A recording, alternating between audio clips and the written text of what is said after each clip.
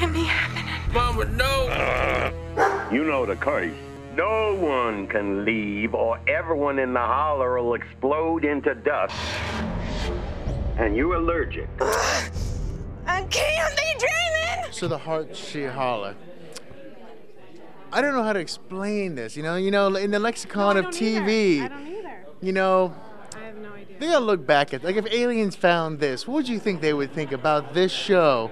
Especially let's let's just let's just say the you know, fir- the first six episodes. The fir- what would they think about them? What would they think when they saw that? Tame. This might be tame for them if they were aliens. That's what you said, right? Yeah. Okay, yeah.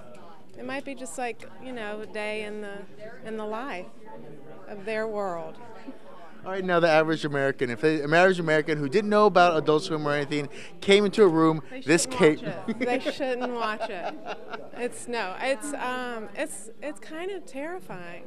I mean, it's it's an incredible um, force, and I don't. You know, it's it's a certain uh, taste that you might like, but if you don't, it can be kind of um, wicked. And, and in some senses, I feel like maybe they should put it on in mentally institutionalized facilities to make them feel more at home. Yeah, like, such like hearing things from inanimate objects. That's right. No, I think that would be actually a really good, um, a really good audience. They would feel calmed, and um, and maybe yeah, I think that that might be our new our new market, is the insane, the mental institution. Isn't that what you just said? Yeah. Okay. Uh, is there anything you aim for when you're with, uh, you know, when, when- you guys are shooting? Of course, you, you shoot really fast, and um, that that you guys want to up the ante. I guess is the is the thing. Do you guys try to up the ante? I mean, the writing alone is pretty insane, but do the actors try to up it at all? I don't know. I think if you just kind of um, the writing exactly is is one of those really um, you have to commit just to say some of these things, and so you don't really want to overthink it too much. You just kind of go in and, and go full throttle. I feel like that's that's the fun part.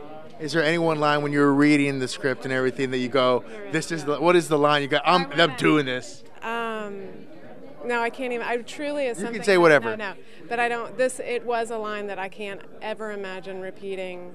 Um, even in that moment, I I just had to kind of dive in and say it, and I'm not going to ever say it again.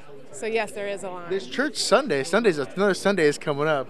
Um, it's a Monday through Monday situation. I would never want to say it again. All right. Well, I'm sure they can uh, they can find that line and maybe take a guess to it as well. Probably know it. Yeah. All right. Well, uh, season two. Are we looking forward to more uh, insanity? I guess.